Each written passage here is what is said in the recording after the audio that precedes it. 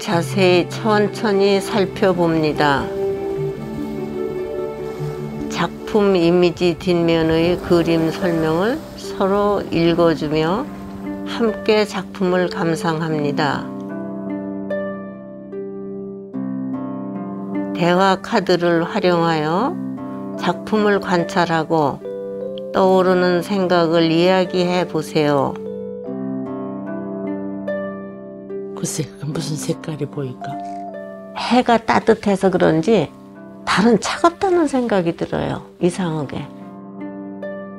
달 그러는데 이거 바다에 물결 아니야? 하늘에 구름이 비쳐? 그러면 여기 섬인가 봐. 바다 속에 풀 그런 걸 달에 비치는 거야. 은하수 개수나무 토끼가 똑방아 짖는 거.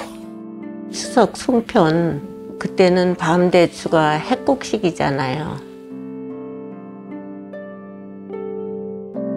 푸른 배경을 바탕으로 다양한 색과 선이 만들어내는 풍경을 기억하며 활동지에 따라 그려보세요.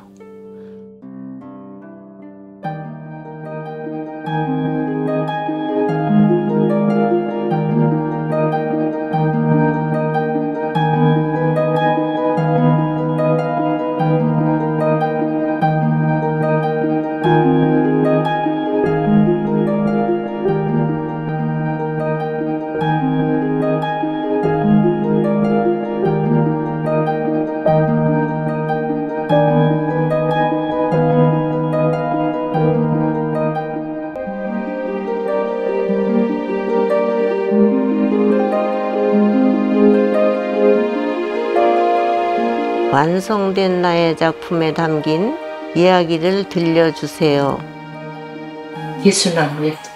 방아지는 거. 너 산이라고 그러고 이거 바다라고. 붕어, 조개, 조개. 달나라에 날아오는 로켓에 놀라서 자기 집으로 가지도 못하고 오지도 못하고 떨고 있는 토끼 집사람한테 마누라한테 줘야죠 스마트폰 카메라로 QR코드를 인식하여 작품들을 둘러보고 나의 작품도 올려보세요.